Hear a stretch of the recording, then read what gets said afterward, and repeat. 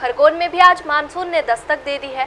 यहाँ उमस और तेज गर्मी के बाद रुक रुक कर बारिश हो रही है। पहली बारिश से कुछ हद तक लोगों को गर्मी से राहत मिली है।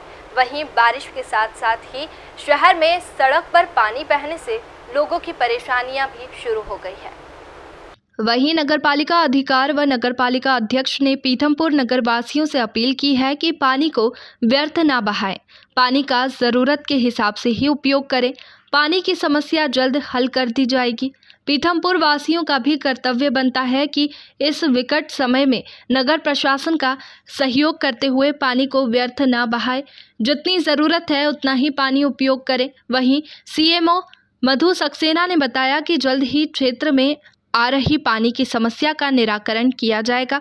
इसी के साथ ही आगे ऐसी समस्या ना आए, जिसके लिए तालाब के गहरीकरण का प्रस्ताव जल संसाधन विभाग को भेजा गया है। जैसे ही अनुमति मिलेगी, तालाब का गहरीकरण किया जाएगा।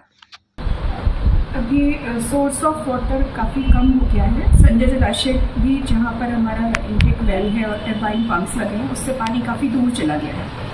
तो हमने वहाँ पर एक पचास एच की मोटर डाल के और ट्रेंच खोल के हम पानी को ला रहे हैं, लेकिन हमें फुल कैपेसिटी पे पानी नहीं मिल रहा है। लगभग 50 परसेंट पानी वहाँ से हमको मिल पा रहा है। इसके अलावा जो नर्मदा नदी पर हमारा इंटेक वेल है, वहाँ से भी पानी काफ़ी कम हो गया है तो जितनी कैपेसिटी है उससे 50 परसेंट पानी मिल रहा है। तो इसलिए हम 50 परसेंट दे पा रहे हैं। अभी एक दिन छोड़ के देते थे, अभी हम दो दिन छोड़ के दे पा रहे हैं। कहीं कहीं तीन दिन भी हो जाते हैं। उस बीच की पूर्ति हम लोग टैंकर से करते हैं और हमारे जो ट्यूबवेल्स हैं जगह जगह 200 के लगभग ट्यूबवेल्स हैं, उनको भी हमने 2000 लीटर की टंकियाँ भर के रखी हुई हैं। उनको हम टंकियों को फिल करते हैं, उससे लोग पानी ले पाते हैं। मैम कहीं ना कहीं देखा जाए तो तालाब का गहरीकरण इसका एक बड़ा कारण है, जल समस्या का। तो क्या तालाब का गहरीकरण आगे एक नगर पालिका करवाएगी?